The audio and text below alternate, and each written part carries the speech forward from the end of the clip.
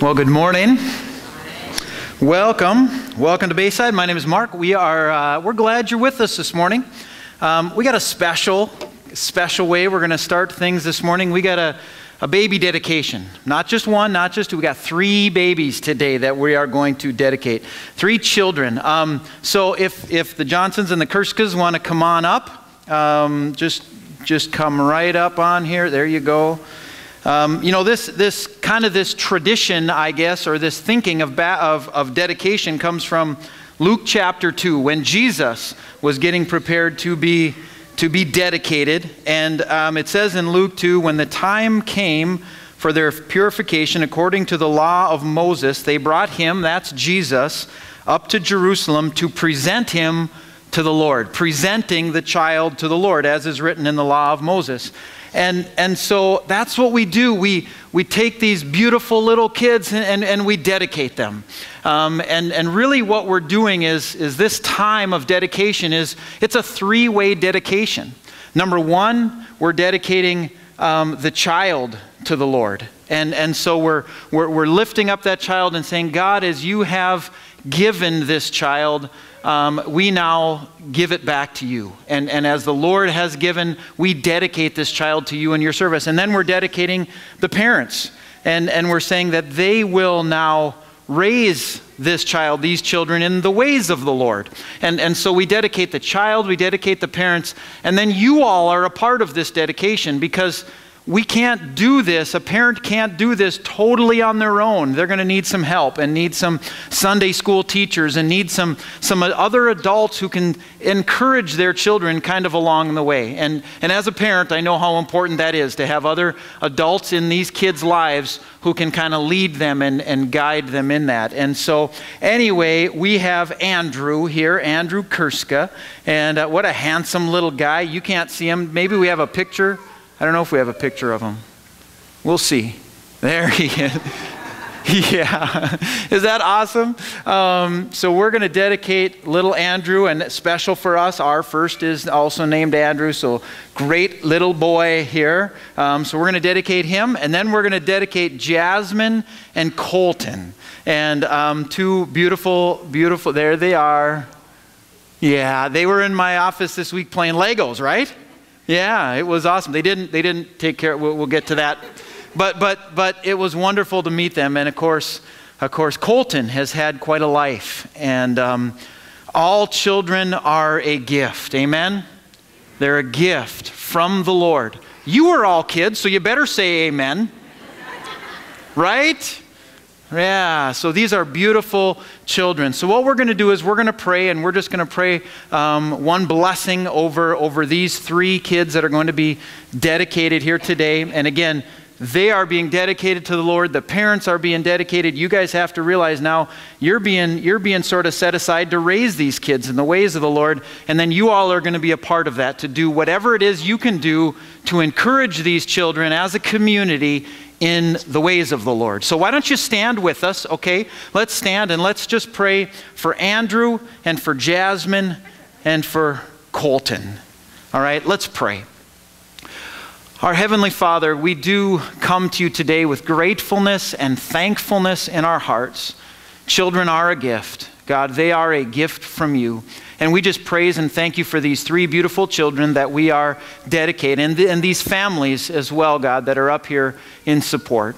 And Father, we pray that, that you would take these children and, and you, would, you would use them, God, for your glory, that they would have a wonderful purpose, an amazing reason, God, that they are on this earth. And, and hopefully, that part of that is to bring you glory in their life. And so we pray for that. God, we ask that they would learn about you at a young age, that they would, they would see your beauty and your glory, God, even while they're still young. And that they would realize that they need to trust in you, that they need to rely upon you, Jesus, and what you did. And we pray for these three beautiful children that they would do that at a young age. We also, God, lift these parents up to you. And again, we're thankful that they have wanted, desired to dedicate their kids. And, and we pray that, that they would raise these children, God, in the ways of the Lord, that they would, that they would be looking into your word as, as the outline, as how to best raise their kids, God, because you've certainly given us given us the, the plan for raising children. And so I pray that they would do that according to your word, that they would stay connected into a community of believers for help and support. And so then, God, we also dedicate ourselves as the body, as this community, God, that we can do whatever we can do to help, to support them, to encourage these children as they start living out, walking out their salvation, God, as they have trusted in you. So we, we do lift all of them, all of them up to you. We thank you again for these beautiful kids, and we just pray your blessing upon them, their families, upon all of us as we help in the process. Lord, we love you. Thank you for your ultimate gift of eternal life through your Son Jesus. And it's in his name that we pray. Everybody said, Amen. Amen. Can you give these beautiful families a little round of applause? Congratulations. Congratulations. You may be seated. Congratulations. There. Congratulations. You guys can sit down. Hi. Blessings to you and to you, sweetie. Congrats. Yep. We'll have certificates for both of you all soon. Again, welcome. We are glad that you're with us at Bayside. We started last week in a series. Um, it was entitled The Glory of One. And what we're looking at, we are looking at how we can bring our God glory based upon how we interact with each other and how we relate to each other as one body and how that brings our God incredible pleasure and honor and glory. And so we are looking at that. And last week we talked about how we are like living stones, living stones built into an actual uh, temple for the Lord. And we did some Lego building last Sunday morning, and we built a Lego house. And, and everybody got a Lego who was here. If you weren't here, yeah, we got some pictures. Everybody kind of came at the end of the service, and, and we took our Lego piece and, and we started to build this this house, this temple for the Lord. There's the finished product, and there's the finished product. And um, I, I want to encourage you if you weren't here last week, um, come on forward at the end of the service. We had a lot of people do this after first service, and, and, and they put their Lego piece, uh, there, we got some extra Lego pieces, and they continued to build this house. Um, this house, this temple, this spiritual dwelling place for God, it's not done. It's continuing to grow and to be built. So I want to encourage you, if you didn't get a chance to do that last week, come on forward. A um, couple of kind of neat stories from last week. First of all, we had in the first service a young guy. He was a visitor. It was his only week he was here. He was from out of town with his family. But I said, you know, what's that big piece in the corner? What's that big corner piece? And he raised, he raised his hand. He said, that's Jesus.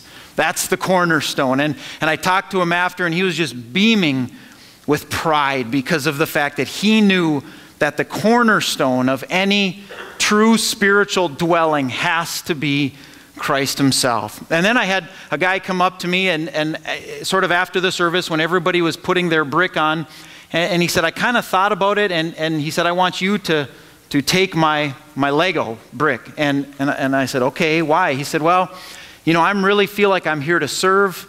I don't know where I fit yet. But how about if you put my Lego piece where you think it'll go best? And I thought that's kind of a neat picture of just coming in and saying, I'm just going to serve. And then I just talked to a gal just this morning after first service, and she said, I, I have to tell you that while you were sharing that message on this spiritual house, she said, there were tears in my eyes the whole time. And, and I said, Why? She said, Well, I, I was at a church before this, and I was hurt.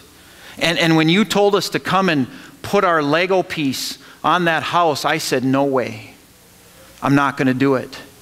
I'll be a part of your body, Christ, but I will not be a part of this body because I don't think I trust them. I don't know if I trust them. And she had a, a friend of hers that came up and, and kind of knew what she was dealing with and saw the tears, and she sat down next to her and she put her arm around her and she said, You know, I think let's maybe go do this together. And so they came down together and, and put their, their bricks on. Um, and, and I understand that.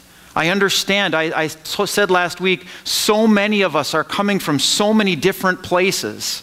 And some of those places are places of hurts or wounds. Like we had a whole series talking about some of those past things that can happen to us. And sometimes, you know, the picture is we are joined together. And that word means a close proximity to one another. And sometimes the thought of that when we've been wounded can, can make us think, I'm not sure if I'm ready for that. I don't know if I'm ready to, to join with these other imperfect people. You know, you can kind of see it on this picture, but there are teeth marks all over these Legos. And, and I said that came from Lego that way. But, but, you know, we are all different. And some of us have wounds and, and scars that are, that, are, that are apparent. And, and, that you can still see and that you can still feel. You know, there's a picture, though, of, of unity amidst incredible diversity, even among people who are wounded and who are hurting. And so, what I want to encourage you with is, is if you weren't here last Sunday morning, after the service, come on forward, grab your little Lego out of there and place it, place it right on this building because we're still growing. Might be a step of faith for you. That's okay. That's okay. We all have steps of faith at times, but come on forward and, and keep on building this church. So that was last week. Sort of a, the picture, the analogy was a spiritual house. Today we're going to look at a different aspect of how the church works as one. Um, I want to bring you back to the Garden of Eden. We started there last week as well. And just picture, imagine for a moment, God just finishes creating the world. And, and, when he got done with every component, he said something. He said, he saw what he had created and he saw that it was what? It was good. And so God built this perfectly good world, this earth and all of its green beauty, and the mountains and the oceans and the trees and the plants and, and the fruitfulness. And then he puts man in the middle of this garden, this ultimate picture of perfection. And, and, if you read in Genesis 1, it says, the first words out of God's mouth to this man, this man that he had created in this perfect world was Adam, I want you to be fruitful. Be fruitful, Adam, and multiply. Well, he, he did. We can see Adam being physically fruitful and multiplying, and, and, and, and people start to cover the earth, but then it went bad. And, and, and, God had even regretted that he had created mankind. And so he floods the earth and he, he saves Noah out of this flood. Noah, one family. And, and, and Noah comes out of the ark, and the very first words that God speaks to Moses, and he spoke it three times. If you want to read in Genesis 9, he said, Moses, be fruitful.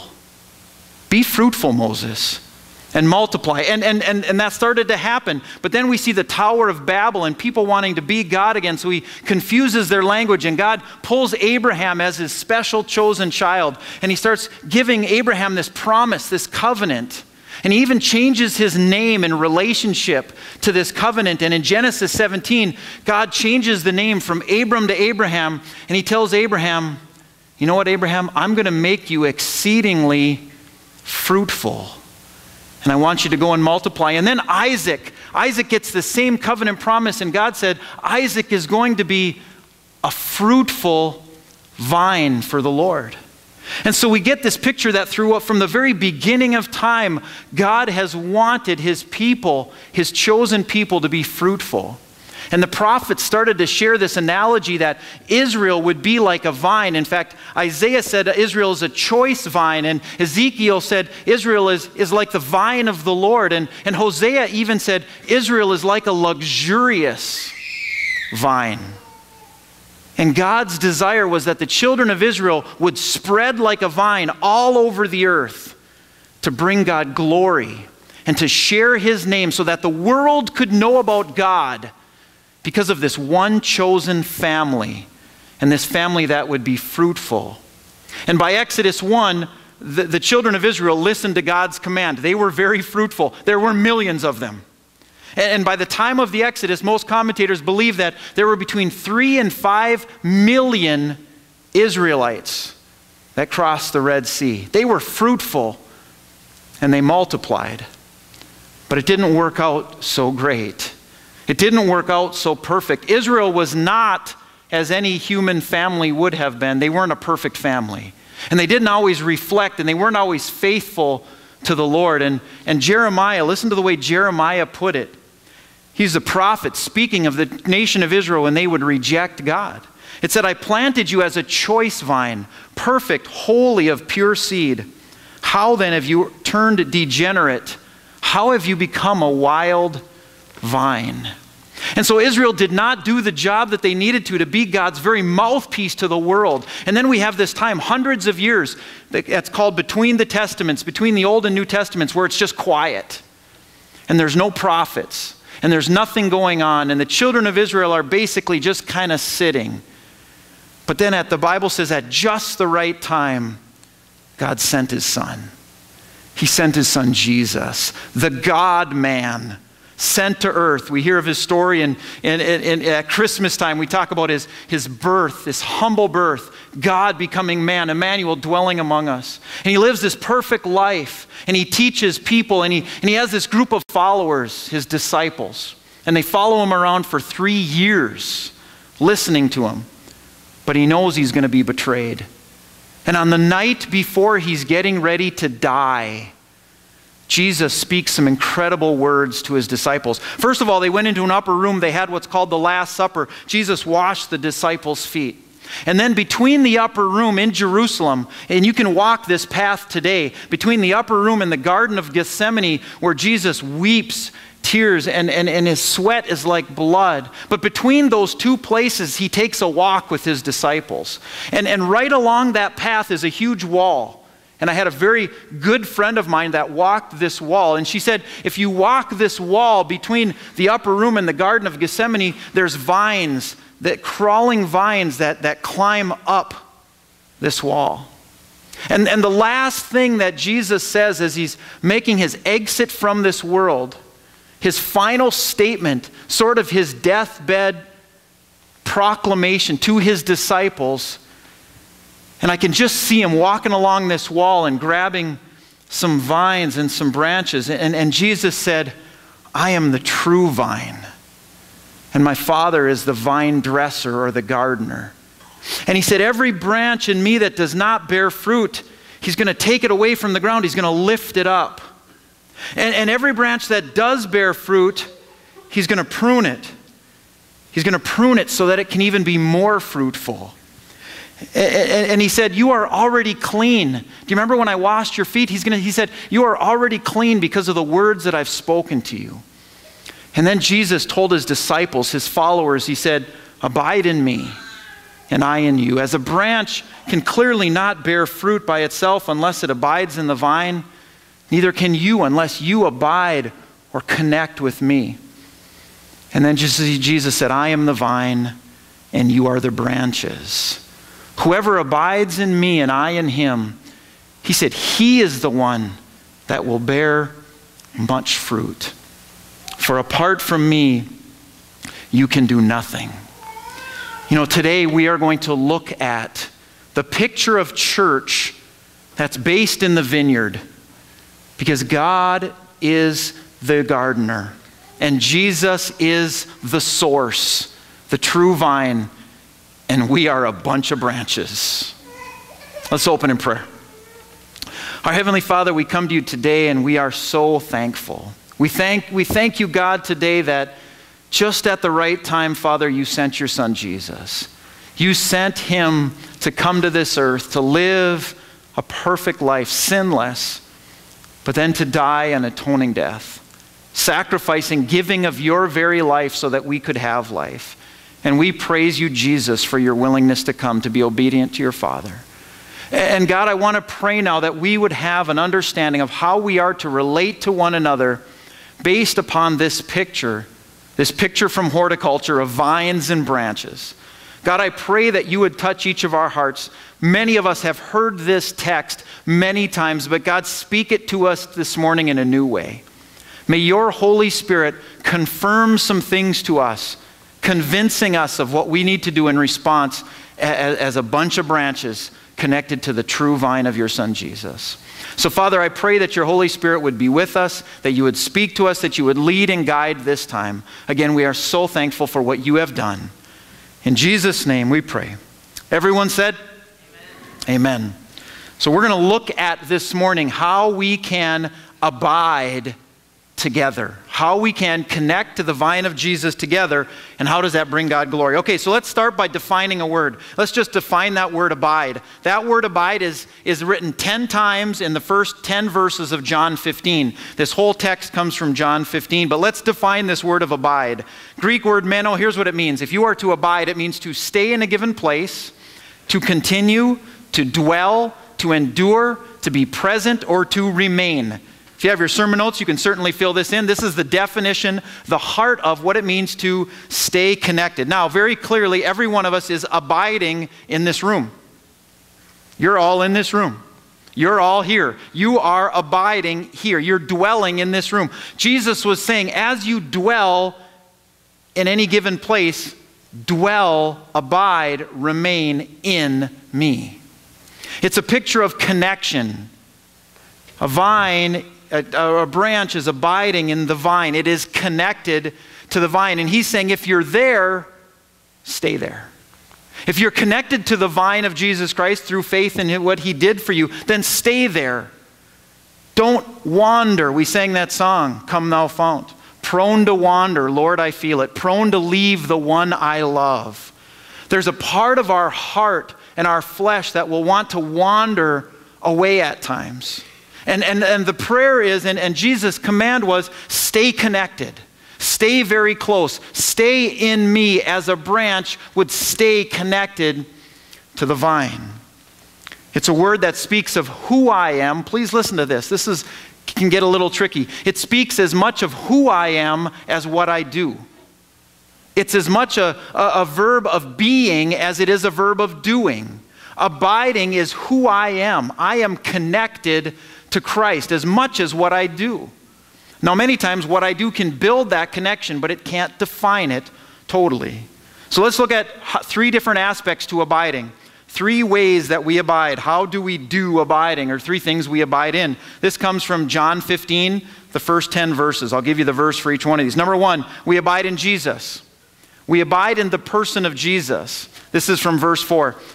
Many times when we think of abiding, we think religion. This is so non religious. This is not about what you do, this is about connecting to a real person. A real person. You know, we know how we interact with each other. Do we interact with Jesus that way? Do we interact with Christ? Do we abide in Him as a real person? Because He is a real person. He's a real person with a personality that wants to connect with us. Verse 4 tells us we abide in Him, in Christ. Second thing, his words then abide in us. So now we take that's from verse 7. His word, God's word, abides in us. How does God's word abide in us? Well, I'll tell you how it doesn't abide in us. It doesn't abide us because we read it, check it off our list, and move on. That's reading his words. That's not allowing his words to abide in us. Two words, I think, that define his words abiding in us. They both start with M memorization and meditation. Memorization and meditation. When you start memorizing God's Word and then meditating on God's Word, it will move you from reading the Bible to His words abiding in you. Because for His words to abide in, I can't just read it and move on. It has to make its way into my head and make its way into my heart. Second way we abide is when His words abide in us. Third way, number three, we abide in His love. We abide in His love. How do we do that? One word obedience. The third aspect of abiding is all about obeying what Christ commanded us. So we can't say, I'm abiding in Jesus and disobeying him at the same time. That doesn't work. The three aspects to abide in, when we do this, when we abide in the person of Jesus through praise and prayer and just thinking on God, and then we, his words abide in us through meditation and memorization, and then we abide in his love by obeying what he commanded us, we are abiding. We're abiding in the full true vine of Jesus Christ. Okay, now what I want to do is I want to look at that's kind of the basics of abiding. Now I want to look at what happens when we abide, when we connect to the true vine of Jesus, when we do that together. We're going to talk this morning about the three results of abiding together. What will happen when people connect to Jesus individually and then we connect to each other corporately? What's going to happen? Let's read verses 4 and 5. John 15, verses 4 and 5. Jesus said, Abide in me, and I in you. As the branch cannot bear fruit by itself unless it abides in the vine, neither can you unless you abide in me. Now, I want you to notice something up here. First of all, look at in verse 4, it says branch. That's singular. Then it says bear fruit. That also sounds singular. Now, let's read verse 5. See if there's a change that happens in verse 5. Verse 5 said, I am the vine, you are the what? Branches. That's no longer singular, now it's plural. And he says, Whoever abides in me and I in him, he it is that bears what? Much fruit. For apart from me, you can do nothing. I used to think verse 5 was for me. Verse 5 is not for me. Verse 4 is for me. Individually, if I connect to the vine of Jesus, my life can bear fruit. In fact, my life will bear fruit when I connect to the vine of Jesus. What's spiritual fruit? Not going to take a long time on this. Spiritual fruit is twofold. One, it's the fruits of the Spirit, Galatians 5:22. Fruits of the Spirit are love, joy, peace, patience, kindness, goodness, faithfulness, gentleness, self-control, Galatians 5:22. Then fruit externally are the good works, the things that I do that bring God glory. So that's fruitfulness. But now look at this. Verse 4 tells me if I connect to Jesus, if I spend time connecting in those three ways, my life will be fruitful. I will have an impact on the kingdom. But verse 5 is not for me alone. Verse 5 is for me and all of us corporately because he says, I am the vine, you are the branches. But now look at what happens to the fruit when we abide corporately. Whoever abides in me and I in him, he it is that bears much fruit. I, I love that word much. It's the Greek word polos. Here's what it means abundance of fruit. An abundance more than enough. You know, if we want to live lives of much fruitfulness, much impact for the kingdom, it happens when we abide in the vine of Jesus individually and then we connect to one another corporately. I shared this last week. We are one of the most independent cultures that has ever graced this planet. We are independent. We like our space, we like our stuff, we like our world, We'll have communication, but we rarely have deep connection. God is saying, just like those Lego bricks that are stacked so closely together, we are like a bunch of branches that are all connected together to the vine of Jesus. And to bear much fruit, we have to connect with each other. Now, look at the result of this, verse 8. Skip down to verse 8. Here's the final result of abiding together. By this is my Father glorified, so that you bear much fruit and so prove to be my disciples.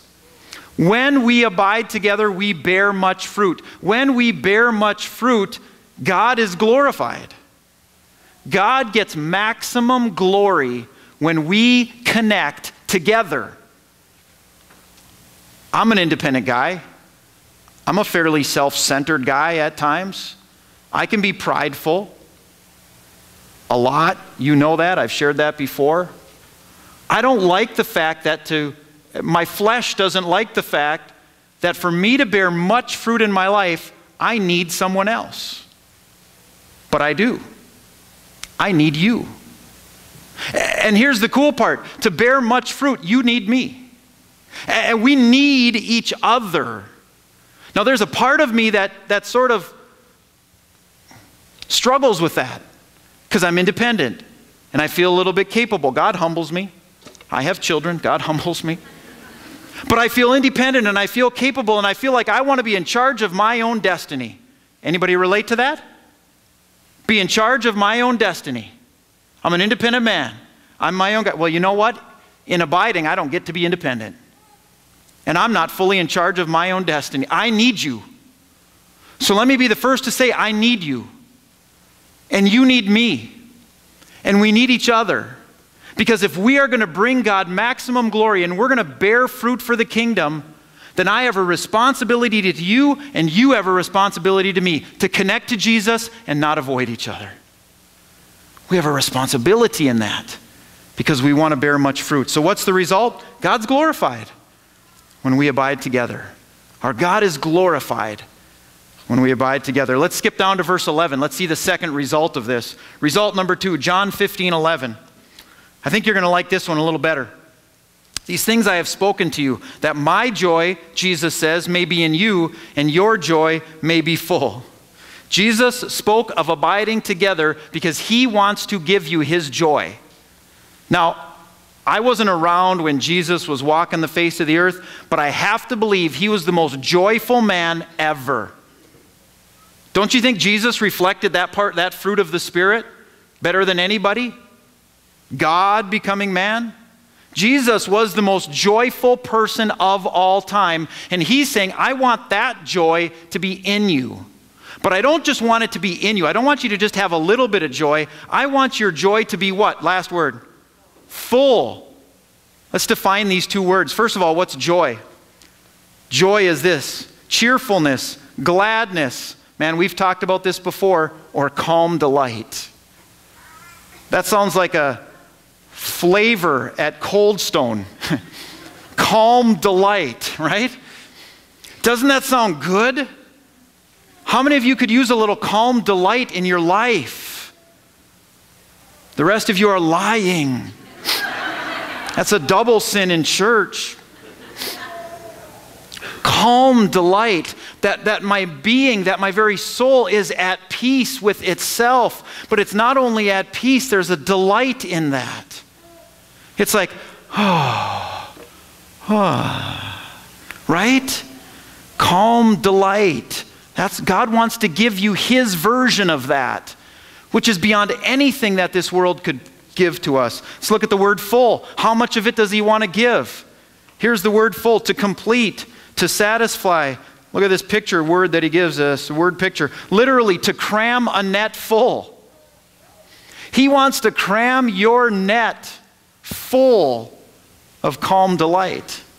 He wants to give you an overabundance of cheerfulness and real joy. But it can't happen until you start abiding in the vine and you start connecting with your brothers and sisters. That's when, if, if you're lacking calm delight, connect to Jesus and connect to each other. How does that happen? I don't know. I don't know. I don't know the mystery of that.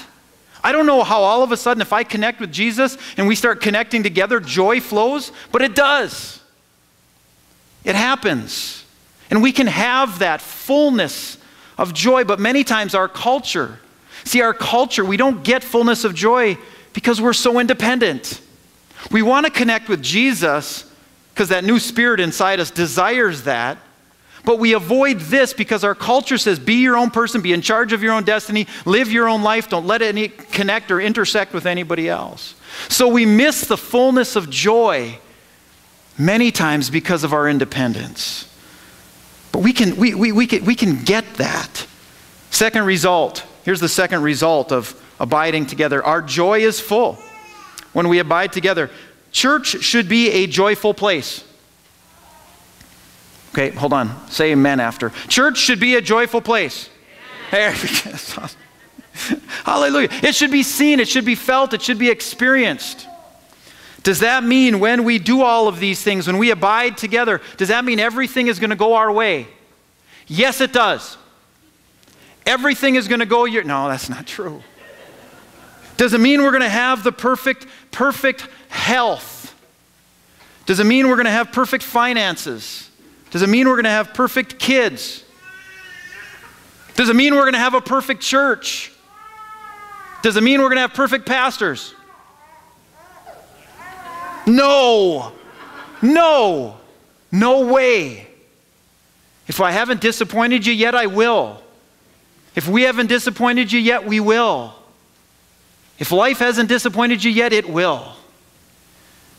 We're going to have perfect relationships with everybody? No. Are we going to have per- the perfect face, the perfect body? No. We're going to have the perfect house? No. We're going to have the perfect little garden out there to minister? No, we're not. No, it's not going to be perfect. We have true joy because we individually connect with Jesus and then we corporately connect with each other.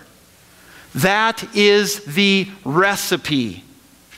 That is how we experience true joy, not because everything in life goes great, because it doesn't. We get joy, we get calm delight. In fact, we get more than enough calm delight when we connect with Jesus and we connect with each other. Let's skip to verse 12. Verse 12, this is the final result of abiding together. God's glorified, we get fullness of joy. Now let's read verse 12. This is my commandment that you love one another as I have loved you. Greater love is no one than this, than someone lay down his life for his friends. I love verse 12. You know, in, in verses 1 through 10, Jesus used the word abide how many times? Do you remember? 10 times. 10 times in the first 10 verses, he uses the word abide. And then all of a sudden, he starts talking about a new commandment. He, he talks about abide 10 times, and then he says, Here's my commandment. I think in some ways he was saying, Let me give you the new 10. I know you know the old 10, but let me give you the new 10. And I can define the new 10 in one word it's the word abide.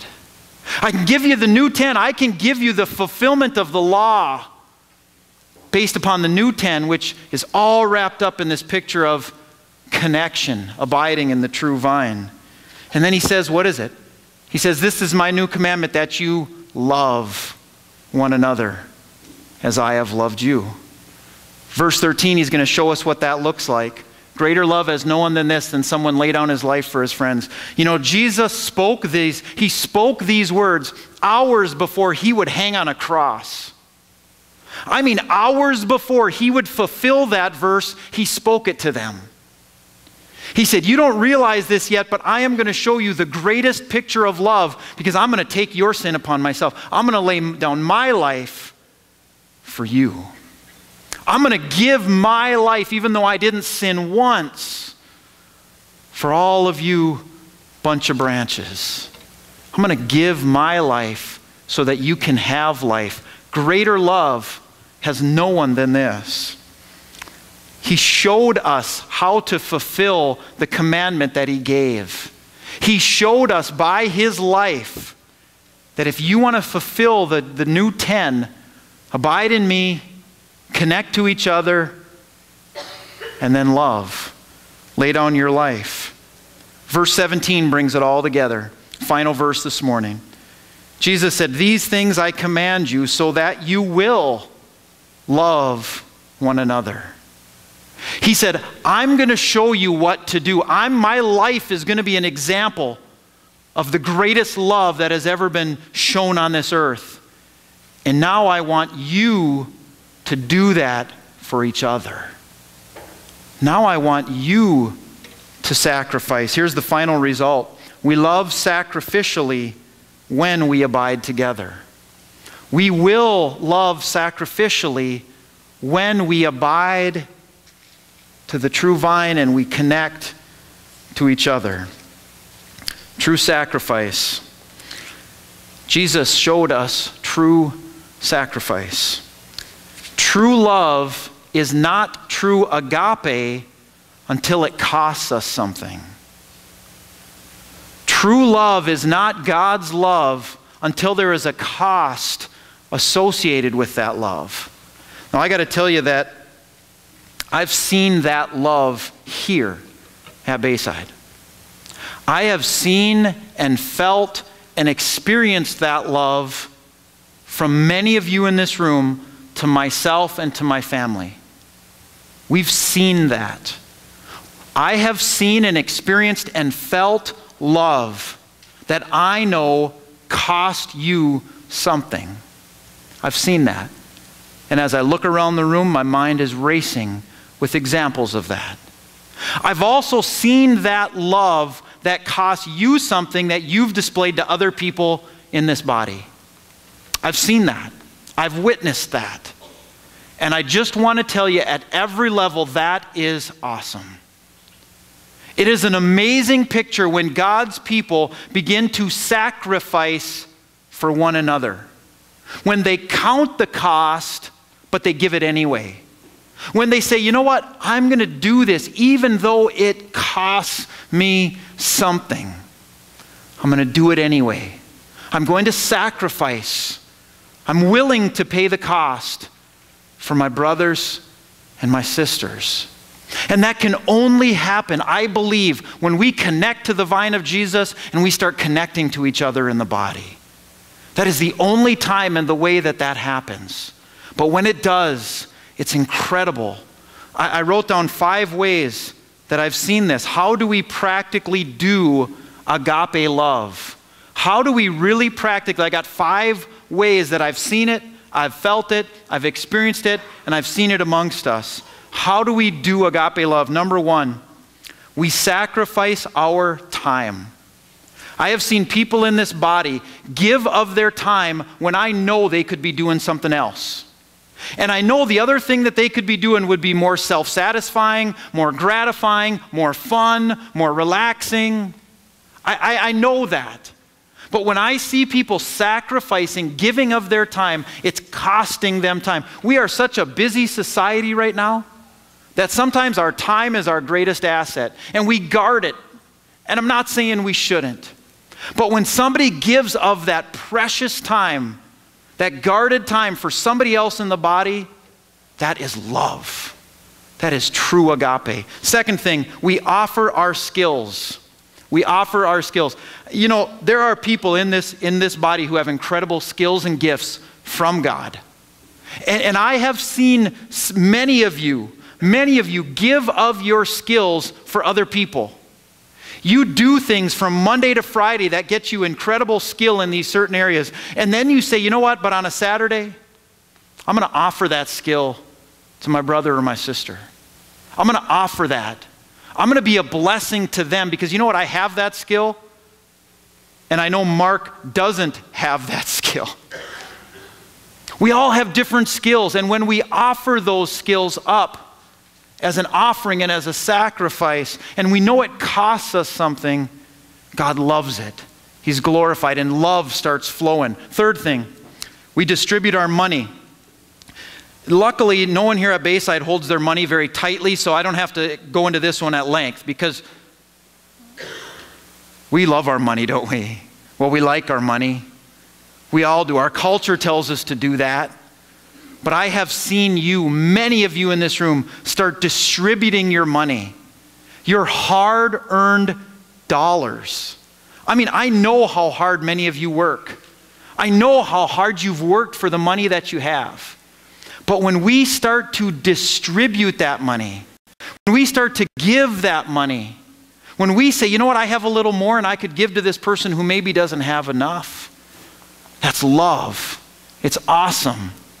And, and, and, and it's a beautiful picture of sacrifice and cost. Number four, this one is a little more subtle. We focus our thoughts. We focus our thoughts. I think many times true agape sacrificial love starts when we simply start to think about other people in the body. See, we're like this. Human nature is this.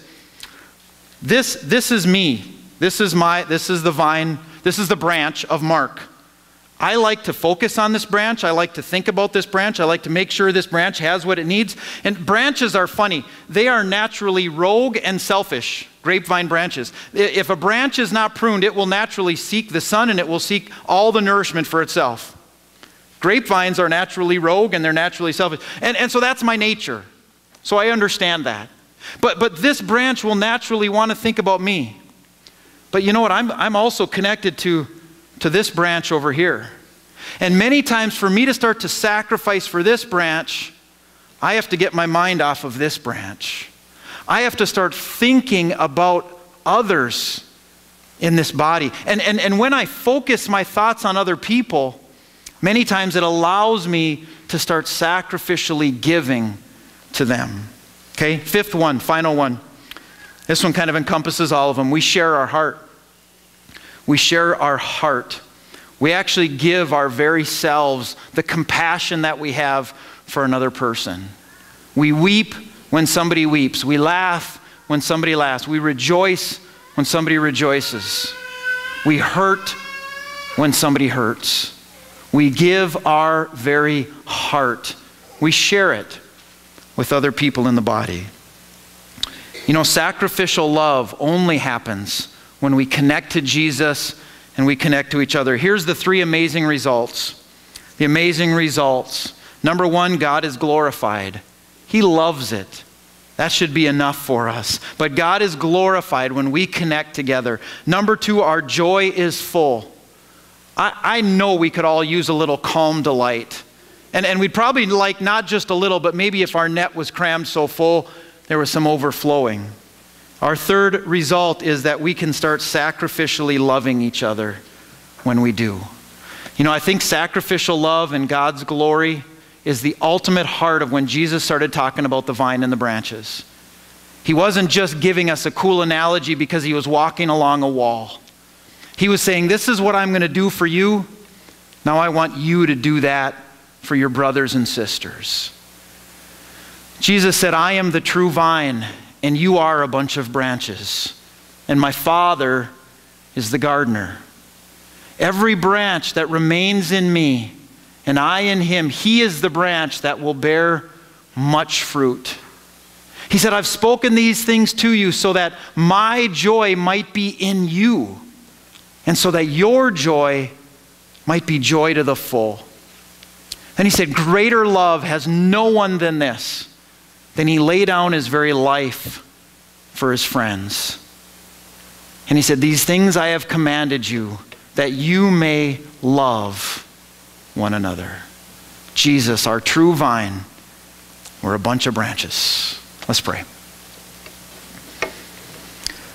Our Heavenly Father, we do come to you, and again, we are so thankful. We are thankful that you sent your Son to be that sacrifice for us. You gave your very self. You gave Jesus, your one and only beloved Son, that we might have life. In Christ, we thank you that you were obedient to your Father. You were obedient to Him to come.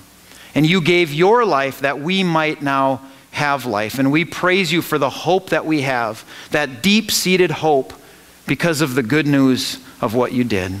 And Father, then you connected us to your Son, Jesus. And Christ, we love being connected to you.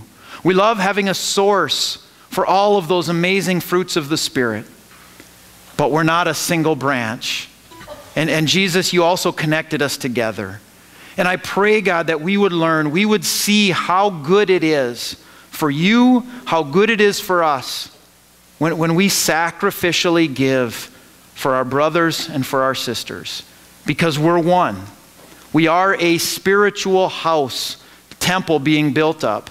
And we are a bunch of branches connected to the true vine of your Son Jesus. We praise you, we thank you, we do worship you in this time. And we pray that you would receive glory from how we interact and relate to one another. Thank you. We love you, God. In Jesus' name, amen.